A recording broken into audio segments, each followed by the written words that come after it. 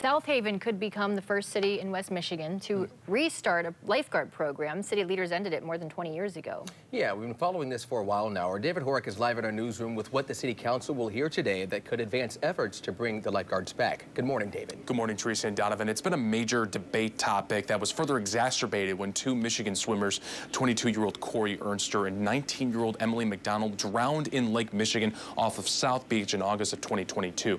Now, at the time, yellow flags were flying when the two went into the water, but red flags were raised later in the day. Families of those two are suing the city in federal court on claims of negligence and argue that they violated the pair's rights. The suit argues that the city should have known how dangerous the lake conditions were that day and that the yellow flag did not adequately warn beachgoers of this danger.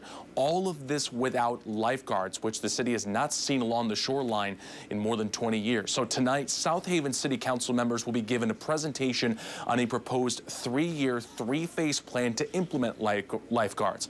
On your screen here is a simplified outline of it. Beginning this year in 2024, the focus would be on basic training. Phase two in 2025 will em would emphasize recruiting and having lifeguards hired by Memorial Day, establishing a junior lifeguard program as well, and review any necessary improvements, plus applying for certification through the United States Life Saving Association, or USLA.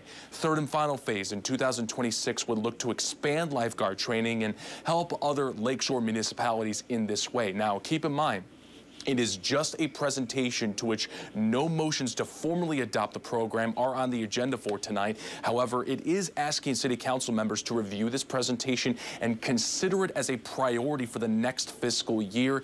Again, that meeting is scheduled to start tonight, 7 o'clock.